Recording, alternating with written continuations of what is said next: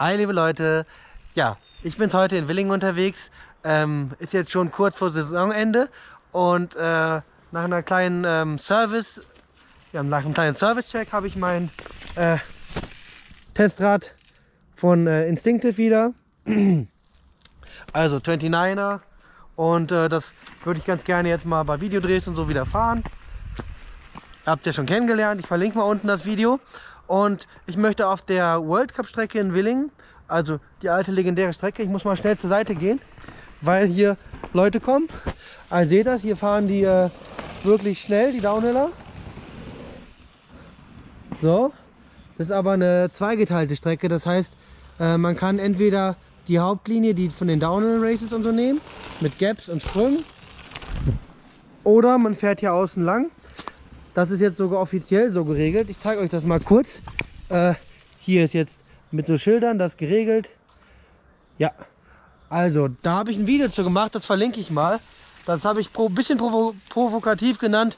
Die World Cup Strecke, die auch Tourenfahrer, die äh, technisch gut sind, fahren können. Hab da ein bisschen Ärger für bekommen. Aber im Endeffekt ähm, haben die es sogar dann so gemacht, dass sie das getrennt haben. Jetzt hier die Strecken und jeder kann hier seine Linie finden. So, das Thema heute hier mit meinem Enduro-Bike, also gut fahrbar, ähm, Stufen fahren oder droppen. Und ich kann aus Erfahrung sagen, ähm, dass so natürliche Kanten oft auch fahrbar sind im technischen Gelände. Ähm, Im Bikepark ist es aber oft so, diese Holzelemente, dass die wirklich nur zum Droppen sind und nicht mehr zum Abrollen. Ja, und äh, ja, ihr seht hier das Schild, Dangerous. und hier seht ihr die Kante. Im Video sieht natürlich immer alles klein aus. Hier haben wir jetzt äh, diese Kante, die wollte ich zeigen. Die kann man halt gut rollen. Man muss ein bisschen gucken, hat man ein tiefes Tretlager, kommt man da auf, aber eigentlich passt das. Bedenkt dabei, wenn ihr euer Körpergewicht auf dem Fahrrad habt, ist das Tretlager noch ein bisschen tiefer. Und hier ist natürlich noch eine kleine Gap-Version. Und generell kann man in dem Areal, wenn nichts los ist, an den nächsten Stellen da auch schön ein bisschen Gap-Springen üben. Äh, das ist immer gut, wenn die Holzelemente im, auf, den, auf, der anderen Seite vom ähm, Ettelsberg, wenn die alle nass sind, dann kann man hier halt auf den Stein kann man noch gut ein bisschen droppen und so, weil sonst würden ja alle Holzdrops, da sind ja bei Nässe gesperrt.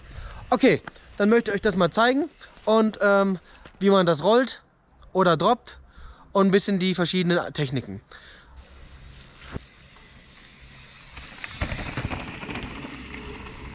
Wichtig, wenn ihr es abrollen wollt, ihr habt vorher die Tretlagerhöhe gecheckt, schön die Schulter zum Lenker bringen und dann das Vorderrad runterlassen.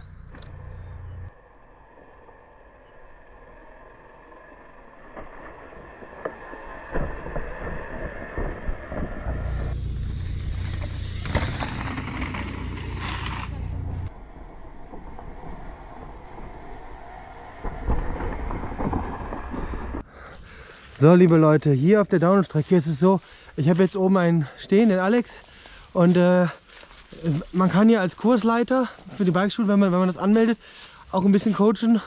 Man kann als Influencer auch was filmen, aber bitte nie in der Strecke rumstehen. Und der äh, Alex sagt mir Bescheid, falls jemand kommt und ich bin sofort weg von der Strecke. Ich will euch das mal zeigen. Man kann an dem Drop hier, äh, den ich gerade gerollt bin und dann gedroppt bin, kann man jetzt natürlich noch viel mehr Tempo nehmen und den viel weiter reindroppen in die Landung von diesem kleinen Gap wo der Felsen ein bisschen dicker ist. Also das da. Hier kann man dann immer droppen, immer schneller, immer schneller, immer weiter. Und dann kann man sich rantasten, wenn man das Gap springen will. Super coole Sache. Also die Step-by-Step-Methode geht hier richtig gut. Ja, dann möchte ich euch noch ein, zwei kleine Technikvariationen zeigen für den Drop. Und ich würde sagen, dann seid ihr inspiriert, auch mal in Willingen hierzu hinzukommen oder zu Hause Kanten zu suchen. Äh, wo ihr auch euch Schritt, Schritt für Schritt rantasten könnt. Zum Beispiel im Nürnberg, im Steinbrüchle war ich mal, da gibt es auch so ganz viele. Erst zum Abrollen, dann zum Droppen. So, Fahrrad, super smooth, die Federung. 29 rollt natürlich. Oh. Biker kommen. Okay, Biker kommen schnell von der Strecke runter und dann bestaunen, wie sie fahren. Also jetzt seht ihr noch einmal von oben, was ich meinte. Äh, hier ist ja ein Gap Jump. Das heißt, man könnte hier von der Kante dann über äh, da, wo die Wiese ist, äh, hier da in die Landung reinspringen. Also von der, von der Kante hier bis da hinten. Ähm, aber man kann sich auch rantasten, indem man erstmal hier die kleinere Kante springt und dann, ich muss mal zur Seite. So, der springt hier sogar. Genau, der hat den kleinen Drop genommen und da noch ein bisschen gegappt. Super.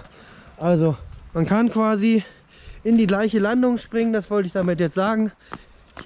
Von der Weite her, indem man den kleinen Drop, den man sogar fahren kann oder droppen kann, immer weiter reinspringt und dann hat man eine Art Speedcheck und weiß dann nachher, wenn man das große Gap springt, wie schnell man sein muss, dass man in die Richtung kommt.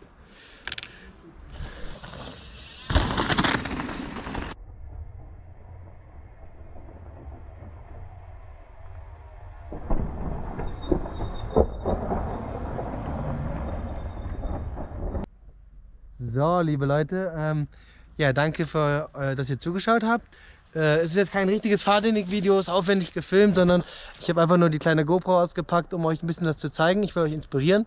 Ich habe schon mal ein Video gemacht, äh, da haben ein paar Jüngere vielleicht, die eh schon krass unterwegs sind, ein bisschen gegrinst. Ein paar Ältere, die so mein Alter oder älter sind, fanden es aber ganz cool.